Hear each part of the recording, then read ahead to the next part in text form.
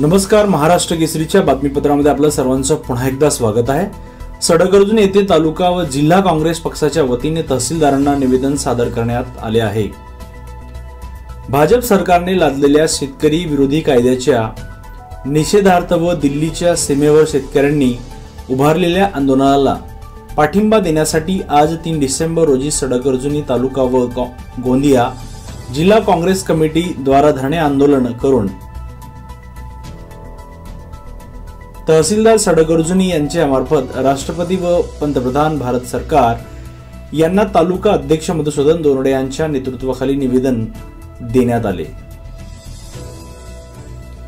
यावेळी रामलाल राऊत राजेशभाऊ नंदागौडी दामोदर नेवारे अनिल राजगिरे अर्जुन घरोटे शाहिद पटेल दिनेश हुकरे देवचंद शिवनकर किरणताई हटवार पुष्पाताई खोटेले लेखलाल टेकाम किशोर शेंडे नागेश पटणे शंकर मेंढे व असंख्य पदाधिकारी कार्यकर्ते व क्षेत्रातील शेतकरी बांधव यावेळी उपस्थित होते.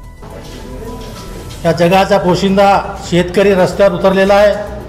आज दिल्लीसारख्या राजधानीच्या ठिकाणी सीमेवर दोन दोन महिन्याचं राशन पाणी घेऊन शेतकरी आलेले आहेत. आणि अशा अवस्थेमध्ये देशाचे पंतप्रधान नरेंद्र मोदी यांना अजिबात त्याकडे लक्ष द्यायला वेळ नाही. भाजप केंद्र सरकारने लादलेल्या शेतकरी विरोधी कायद्याच्या निषेधार्थ व दिल्लीच्या सीमेवर शेतकऱ्यांनी उभारलेल्या आंदोलनाला पाठिंबा देण्यासाठी महाराष्ट्राचे अध्यक्ष आदरणीय महसूल मंत्री बाळासाहेबजी थोरात यांच्या निर्देशनानुसार प्रत्येक तालुक्यामध्ये धरणे आंदोलन करण्यात आलेलं आहे. त्यामध्ये पंजाब हरियाणा